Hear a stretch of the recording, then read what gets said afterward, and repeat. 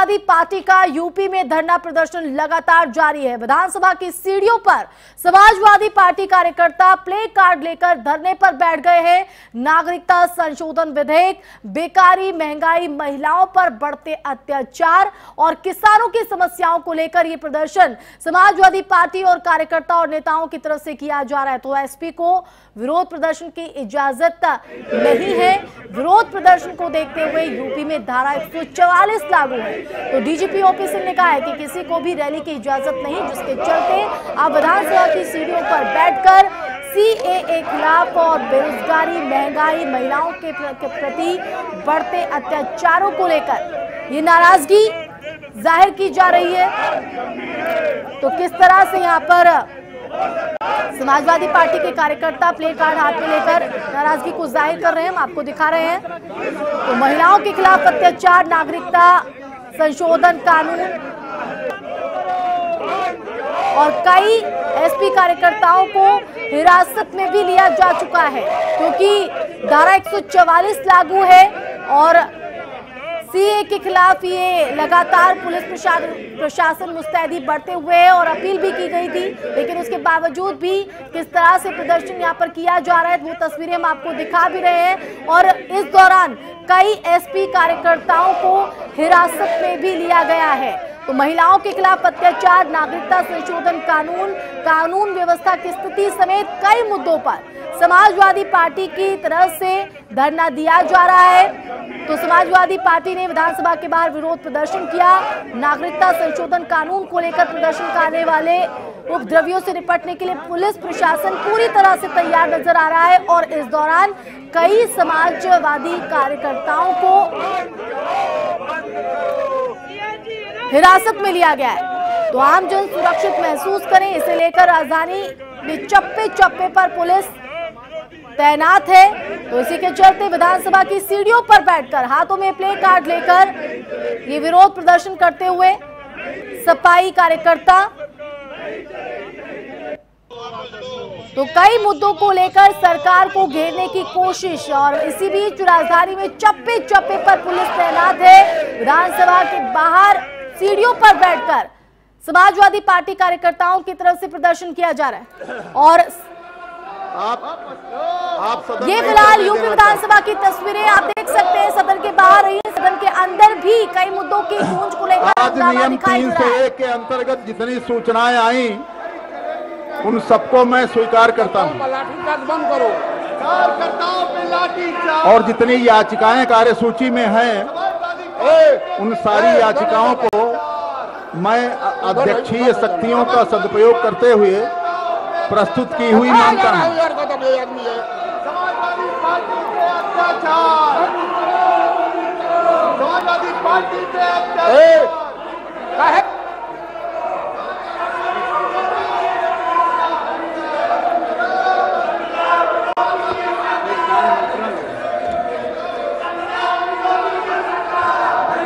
कार्य मंत्रालय समिति ने कल की बैठक में कार्यक्रम निम्नलिखित बनाया। जवाहरलाल राजपूत माननीय की सूचना नियम बावन के अंतर्गत एक घंटे की चर्चा, उत्तर प्रदेश दंड विधि विधेयक 2019 उत्तर प्रदेश दुकान और वाणिज्य अधिष्ठान विधेयक 2019 एवं उत्तर प्रदेश शिक्षा सेवा चयन आयोग विधेयक 2019 के पारण संबंधी मदद ले ली जाए। 20 दिसंबर को अग्रेतर चर्चा हेतु 103 के प्रस्ताव ले लिए जाएँ, जो कार्यसूची में थे। दिनांक 20 दिसंबर को नियम 103 के अंतर्गत ग्राह्य प्रस्तावों को प्रस्तुतिकरण किया जाना।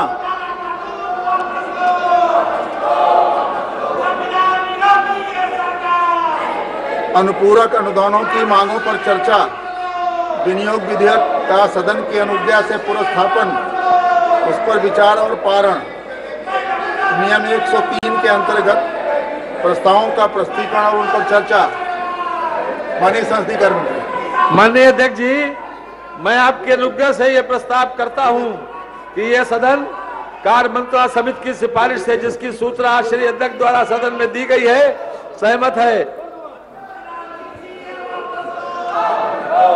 कार्य मंत्रणा समिति की सिफारिश विषयक प्रस्ताव जो संसदीय कार्य मंत्री जी ने रखा है क्या सदन उससे सहमत है, जो माननीय सदस्य पक्ष में हो? हाँ कहें। जो माननीय सदस्य विपक्ष में हो, नहीं कहें।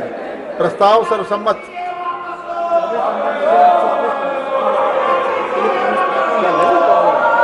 मत संख्या मत संख्या 24 मत संख्या माननीय माननीय संसदीय कार्य मंत्री, माननीय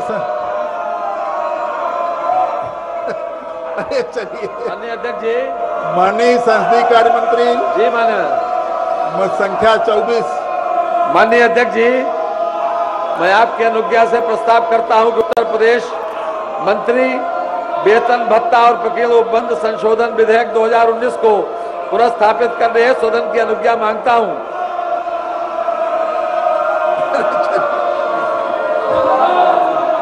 प्रश्न प्रश्न ये है कि उत्तर प्रदेश मंत्री वेतन भत्ता और प्रकीर्ण संशोधन विधेयक 2019 को पुरस्थापित करने हेतु सदन की अनुज्ञा दी जाए।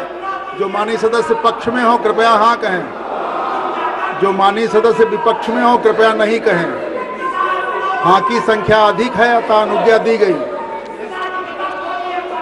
माननीय अध्यक्ष जी 25 25 मैं आपकी अनुज्ञा से प्रस्ताव करता हूँ कि उत्तर प्रदेश मंत्री वेतन भत्ता प्रकीण उपबंध संशोधन विधेयक 2019 को पुनर्स्थापित करता हूँ। मत संख्या 26 माननीय अध्यक्ष जी मैं आपकी अनुज्ञा से उत्तर प्रदेश राज्य विश्वविद्यालय तृतीय संशोधन विधेयक 2019 को पुनर्स्थापित करने हेतु सदन की अनुज्ञा माँगता हूँ। प्रश्न यह है कि राज्य विश्वविद्यालय विधेयक 2019 को पुनर्स्थापित करने हेतु सदन की अनुज्ञा दी जाए। जो माननीय सदस्य पक्ष में हो हाँ कहें। जो माननीय सदस्य विरोध में हो कृपया नहीं कहें। हाँ की संख्या अधिक है अतः अनुज्ञा दी गई। प्रश्न सं, मद संख्या। मैं आपकी अनुज्ञा से उत्तर प्रदेश राज्य विश्वविद्यालय तृतीय संशोधन विधेयक 2019 को पुरस्थापित करता हूँ। मत संख्या 28 माननीय अध्यक्ष जी मैं आपकी अनुज्ञा से प्रस्ताव करता हूँ कि वर्ष 2019-20 के द्वितीय अनुपूरक अनुदानों की मांगों पर चर्चा एवं मतदान।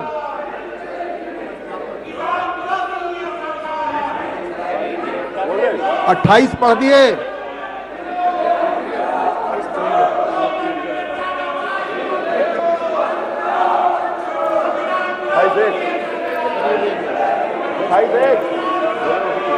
अट्ठाईस। मान्यवर में आप मान हाँ बोलो। मैं अट्ठाईस एक। अट्ठाईस के दो हैं क्या? अट्ठाईस एक सर। पढ़ लिए। मान्यवर मैं आपकी श्री राज्यपाल की सिफारिश से प्रस्ताव करता हूँ। अभी अट्ठाईस नहीं हुआ संख्या सात उद्योग विभाग भारी मध्यम उद्योग के अंतर्गत। मत संख्या 28 पढ़ रहे हैं ना माननीय महाना जी। लाख रुपए की द्वितीय मत संख्या 28 28 28 मन मनवर 28 दो। मनवर मैं आपकी अनुज्ञा से प्रस्ताव करता हूँ कि अनुदान संख्या नौ ऊर्जा विभाग के अंतर्गत इकट्ठा नहीं ला रहे एक इकट्ठा नहीं ला double zero six two seven zero five triple zero. एक हज़ार छह करोड़ सत्ताईस लाख पाँच हज़ार रुपए की द्वितीय अनुमान अनुपूरक मांग वित्तीय वर्ष उन्नीस बीस के लिए स्वीकार की जाए।